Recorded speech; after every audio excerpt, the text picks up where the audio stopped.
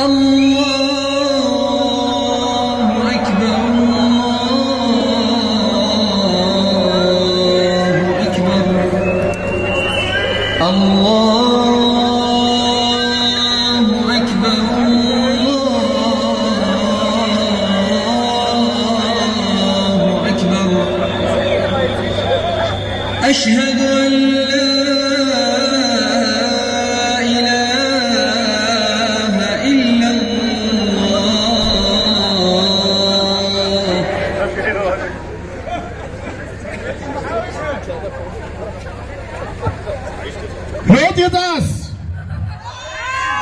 Hört ihr diese wunderschönen Klänge? Ihr werdet euch schon bald daran gewöhnen können. Vor allen Dingen, liebe Anwohner, die jetzt noch zu Hause sitzen, denn die Stadt Dresden will 2500 alleinreisende junge Männer aus Syrien, Afghanistan und dem Irak hierher holen.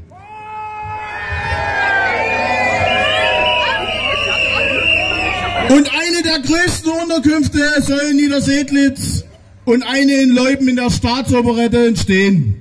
Zusätzlich werden Wohnungen in bestehenden Wohngebieten aufgefüllt. Die Stadt Dresden hat mittlerweile eine Haushaltssperre verhängt, weil die Unterbringung und Versorgung der Migrantenhorden in diesem Jahr vermutlich 57 Millionen Euro mehr kostet als erwartet.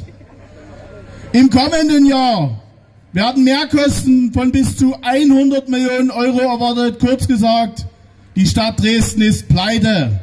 Schule- und Kindergartensanierung sowie der Straßenausbau und andere Investitionen fallen flach, weil man lieber der ganzen Welt helfen will, anstatt Politik fürs eigene Volk zu machen. Und was diese Menschen mitbringen, das liest man jeden Tag in den Zeitungen. Der jüngste Vorfall ereignete sich in Frankreich.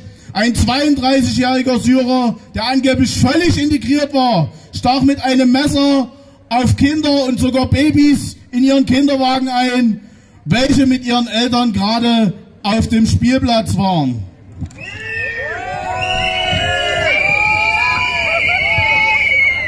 Und das jüngste Opfer, 22 Monate alt.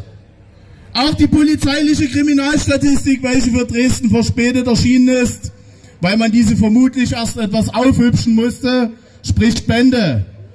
Dresden hatte 2022 einen Ausländeranteil von 10,3 Prozent. Der Anteil von nicht-deutschen Tatverdächtigen jedoch betrug bei allen relevanten Straftaten wie Körperverletzung, Vergewaltigung, Drogendelikten und Raub deutlich über 50 Prozent. Und natürlich ist nicht jeder Ausländer so. Das wäre jetzt das Gutmenschenargument schlechthin. Doch 33 Täter von insgesamt 55 Vergewaltigungen in Dresden waren Ausländer. Und hätte die Politik diese Menschen hier nicht angelockt, dann wären diese Straftaten nicht passiert.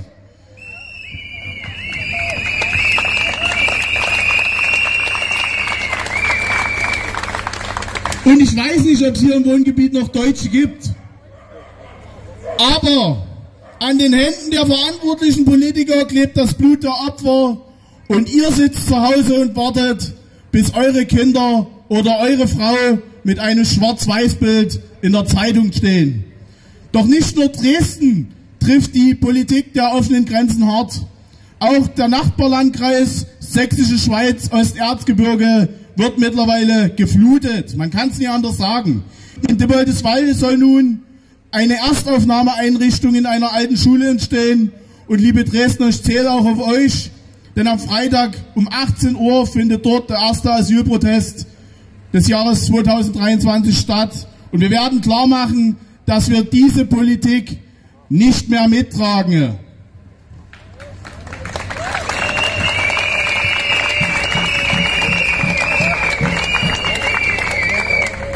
Wer sich das also irgendwie einrichten kann, kommt mit nach Dips, denn wir haben alle das gleiche Ziel, dieser Regierung zu zeigen, dass wir diese Asylflut entschieden ablehnen. Und eine Frage der AfD im Stadtrat hat übrigens nun folgende Fakten zutage gefördert.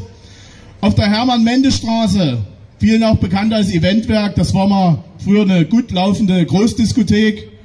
Offenbar hat es nicht mehr genug gebracht sind ebenfalls alleinreisende junge Männer untergebracht. Und im März sind dort pro Kopf und Monat 8.300 Euro Unterbringungskosten angefallen. Und davon über 1.500 Euro an Verpflegung. Ja, die Leute essen nicht mehr nur irgendwelches Schweinefleisch, da muss das beste Zeug her. Da werden Caterer engagiert, weil Sporbitz hat ja gezeigt, diese Menschen können ja, wenn's das, wenn das Messer zum Gemüseschneiden verwendet wird, nicht mehr damit umgehen. Und im Vergleich dazu sehe ich unsere Rentner, die nach 47 Jahren Arbeit nicht mal 1000 Euro Rente haben und noch in den Mülleimern wühlen müssen, um mit dem Flaschenpfand über die Runden zu kommen. Wie abgrundtief muss diese Regierung uns Deutsche hassen, um mit uns so umzugehen? Und vor allen Dingen, wie tief muss man schlafen als Deutscher, damit man eben jetzt noch zu Hause sitzt, vielleicht nur mit dem Kopfschütteln über die Leute, die auf der Straße sind, weil die Nachbarn, die wir haben, die aus fremden Ländern kommen, die sind alle ganz nett. Das haben sie über Anis Amri auch gesagt, bevor er mit dem LKW in Berlin auf dem Weihnachtsmarkt in die Menge gefahren ist. Diese Menschen sind angeblich alle integriert und wenn es dann darum geht, diese Menschen zu bestrafen, dann sind sie psychisch in einer Ausnahmesituation und nicht schuldfähig. Wie der Täter in Illerskirchberg, der eine 14-Jährige umgebracht hat, weil sie das Messer, was er zur Ausführung einer anderen Tat verwenden wollte, vielleicht gesehen haben könnte. Die Menschen haben auch Teddybären geworfen, die haben am Bahnhof geklatscht und dann werden dort Kinder umgebracht und die Menschen sitzen nach wie vor zu Hause. Und die Frage an euch ist, wollt ihr das für eure Kinder? Wollt ihr das für eure Enkelkinder? 1933 hat es genauso angefangen mit Menschen, die die Augen verschlossen haben vor einer Partei, die alles bestimmt hat im Leben. Sie haben die Partei gewähren lassen. Und die Partei, das ist jetzt nicht mehr die NSDAP, das sind die Grünen. Und das muss man immer wieder beim Namen nennen.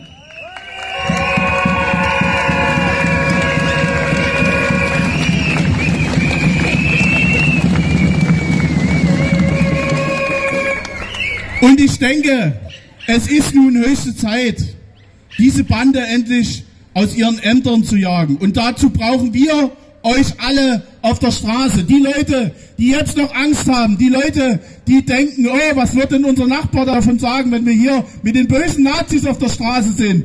Wir sind nicht die Nazis, denn wir sind jetzt die Guten. Und wenn ihr mal seht, wer für diese Aufnahme dieser Menschen klatscht, wir haben heute wieder einen Gegenprotest, das sind vier Leute. Das ist die Minderheit. Wenn die diese Menschen aufnehmen wollen, dann sollen sie sich um diese Menschen kümmern. Und jede Mutter, jeder Vater, jeder Opa, jede Oma, jeden, der bisher zu Hause geblieben ist und gesagt hat, es ist schon nicht so schlimm, es wird schon wieder vorbeigehen. Jeden laden wir dazu ein, diese Angst endlich zu verlieren und vor allem die Augen aufzumachen und sich dem Niedersedlitzer Bürgerprotest gegen diese Asylflut entgegenzustellen. Jeden, der bisher den Mund gehalten hat, aus Angst vor Repression, jeden, der bisher Besseres zu tun hatte, als auf die Straße zu gehen. Denn es gibt nicht mehr den Corona-Protest, den Energieprotest, den Handwerkerprotest oder den Apothekenprotest. Es gibt nur noch den Protest und der hat immer den gleichen Gegner. Diese verdammte Regierung und die muss endlich davongejagt werden. Wir brauchen Politik fürs eigene Volk. Wir brauchen geschlossene Grenzen. Wir brauchen eine konsequente Rückführung von Menschen, die das Recht auf Asyl verwirkt haben.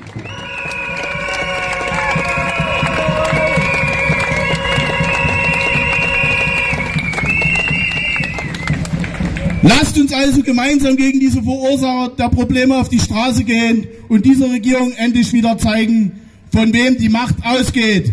Alle Macht geht vom Volk aus und das sind wir, auch ihr zu Hause. Also kommt mit runter, schließt euch an, wenn ich jetzt dann nächsten Mittwoch 18 Uhr auf der Windmühlenstraße in Dresden-Niedersedlitz.